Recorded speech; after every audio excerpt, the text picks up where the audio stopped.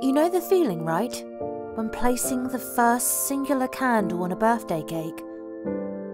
No, well, we didn't know either.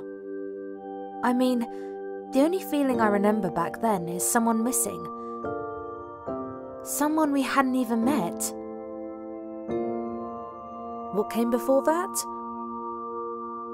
False hopes, uncertainty, hurdles, feeling stranded, being driven apart.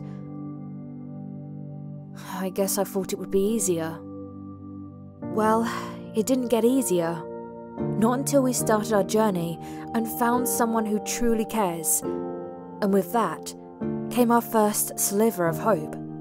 The first video call with the IVF clinic made us feel that the unfamiliar road ahead was finally mapped, because only when everything else was planned ahead of us could we really focus on what was important. And then came the journey. But that was the easy part. We were welcomed and took some time for ourselves. The brief medical procedures was just a tiny part of some much needed vacations, and we never felt alone, even during the last 10 day stretch of anxiety back home.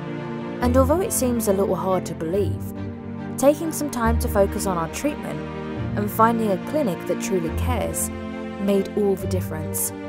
Because now, we have a precious little family of our own, but we were also part of a bigger family, and it all began when we started our IVF journey.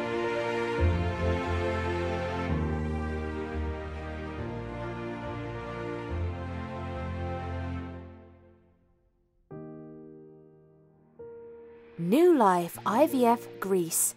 Let's make miracles happen.